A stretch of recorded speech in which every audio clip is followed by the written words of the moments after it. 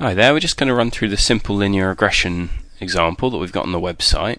So we're looking at these two variables, key stage 2 score and key stage 3 score. Um, the key stage 2 score refers to examinations which students take when they're about age 11 and the key stage 3 score to examinations they take when they're about age 14. So what we're going to do is try and build a simple linear regression model in which we can use the key stage 2 scores to predict the key stage 3 scores. Now, the first thing we need to do is look at the relationship between those two variables. So we'll go to Graphs, Legacy Dialogs, across and down to Scatter Dot. Just need a simple scatter because we've only got two variables, and click Define.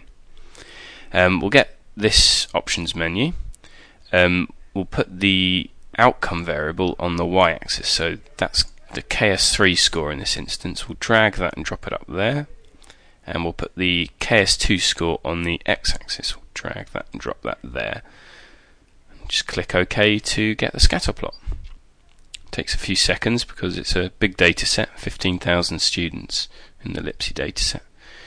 But here we go, this is our scatter plot. Now we can already see that there's, there's clearly a strong positive relationship between the two variables. As key stage 2 score increases, so does key stage 3 score. Um, if you do very badly in your key stage two exams, you're likely to do quite relatively poorly in your key stage three exams.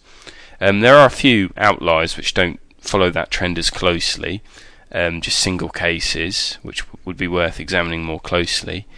Perhaps more worrying is this section here where people who've scored, you know, at the very lowest possible end of the key stage 2 exams seem to be getting a range of scores at key stage 3 now I imagine that that's actually probably just an error in the data collection.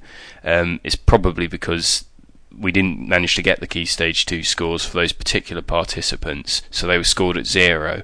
Um, if that's the case then it's best probably to remove these cases from the analysis because they'll they'll bias the model but generally, we seem to have a strong linear relationship there, and certainly one that we can model using regression.